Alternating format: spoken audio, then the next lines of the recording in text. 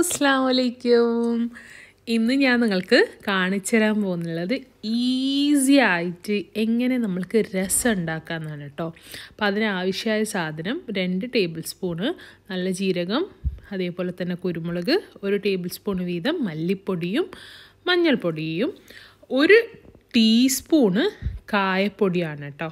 അപ്പം ഇതിപ്പോൾ ഞാൻ പൊടിയായിട്ടാണ് എടുത്തിട്ടുള്ളത്. നിങ്ങൾക്ക് ഇതൊക്കെ ഇങ്ങനെ എന്താ പറയുക ഇടിയോടി ആയിട്ടുള്ളത് എടുത്താൽ നമുക്ക് ഇതെല്ലാം ഒന്ന് മിക്സിയുടെ ചെറിയ ജാറിലിട്ടിട്ട് ജസ്റ്റ് ഒന്ന് ഗ്രൈൻഡ് ചെയ്തിട്ട് എടുക്കണം കേട്ടോ അപ്പോൾ നമ്മൾക്ക് ഫസ്റ്റ് ഈ സംഭവങ്ങളൊക്കെ ഗ്രൈൻഡ് ചെയ്യുക ഇപ്പം ഞാൻ പൊടികൾ എടുത്തിട്ടും എന്തുകൊണ്ട് ഗ്രൈൻഡ് ചെയ്യുന്നു എന്ന് വെച്ചാൽ ജീരകം ഗ്രൈൻഡ് ആവാത്തത് കൊണ്ടാണ്.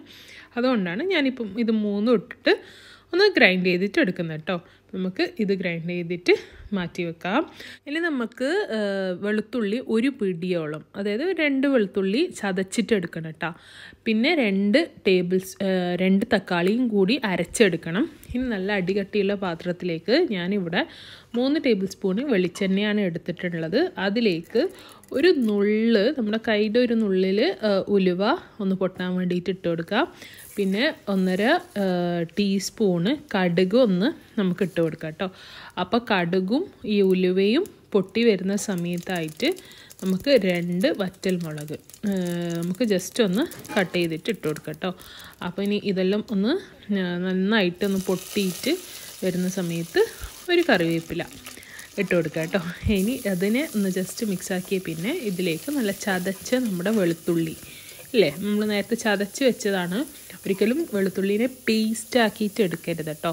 അപ്പോൾ ചതച്ച് വെച്ച് വെളുത്തുള്ളിയും കൂടി ആഡ് ചെയ്തിട്ട് ഒന്ന് ഇതിനെ മിക്സ് ആക്കിയിട്ട് എടുക്കുക കേട്ടോ.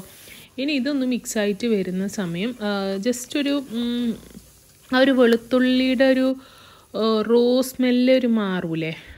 ആകുന്നത് വരെ കേട്ടോ. അത് മാറിക്കഴിഞ്ഞാൽ നമ്മൾ നേരത്തെ മിക്സാക്കിയിട്ട് വെച്ച പൊടികളില്ലേ ആ പൊടികൾ ആഡ് ചെയ്തിട്ട് കൊടുക്കുക കേട്ടോ ഇനി ഇതിലേക്ക് തക്കാളി നമ്മൾ അരച്ച് വെച്ചിട്ടുണ്ട്. രണ്ട് തക്കാളിയുടെ പേസ്റ്റ് തക്കാളീനെ നമ്മൾ നന്നായിട്ട് പേസ്റ്റിന്റെ രൂപത്തിലാണ് എടുത്തിട്ടുള്ളത്.